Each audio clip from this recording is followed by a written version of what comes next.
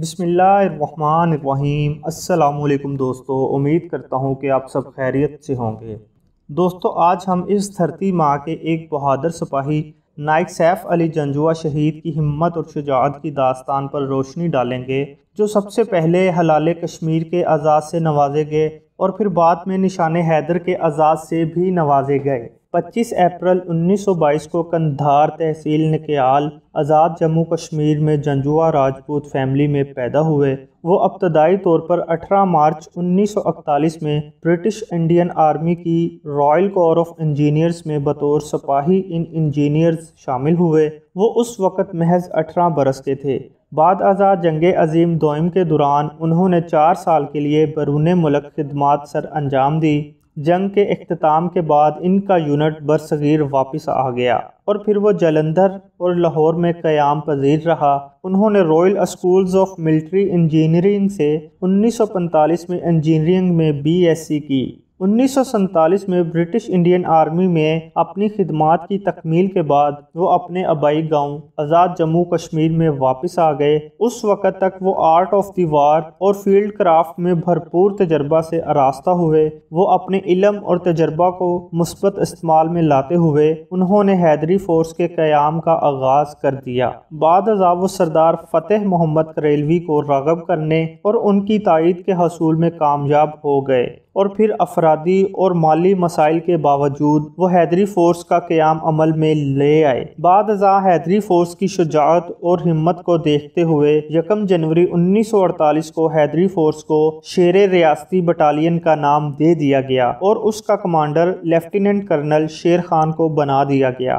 اس battalion میں سیف علی جنجوا کو نائک کا عہدہ دیا گیا اور انہیں بدھا کھنہ کے مقام پر دشمن سے دفاع کرنے کا حکم دیا گیا۔ نائک سیف علی جنجوا شہید نے پیر کلیوہ رجوڑی کی چوٹی پر بھارتی فوج کی ایک برگیڈ کا مقابلہ، ایک پلٹون کی نامکمل اور مختصر نفری کے ساتھ کیا۔ اٹھارہ اے کے کی پلٹون، جس کی کمان نائک سیف علی جنجوا کر رہے تھے رجوڑی بھمبر کلی روٹ کے ساتھ محصل قلعہ کنونچر کے ساتھ لگائی گئی تھی۔ بیس اکتوبر انیس سو اڑتالیس کو پیر کلیوہ پر ہندوستان کی پانچ اور انیس برگیڈ حملہ آور ہوئی، لیکن ان حملوں کو معدد بار پیچھے کی جانب دھکیل دیا گیا۔ ہندوستانی فوج پیر کلیوا کے دائیں جانب سے کامیابی کے ساتھ پیش قدمی کر رہی تھی اور اس نے نائلی اور سرولا پر قبضہ کر لیا تھا۔ پیر کلیوا پر دفاع کمزور تھا اور صورتحال مزید خراب ہو گئی تھی، لیکن نائک سیف علی جنجوا اور ان کی پلٹون نے ہندوستان کی پیش قدمی کو روکنے کا تہیہ کر لیا تھا۔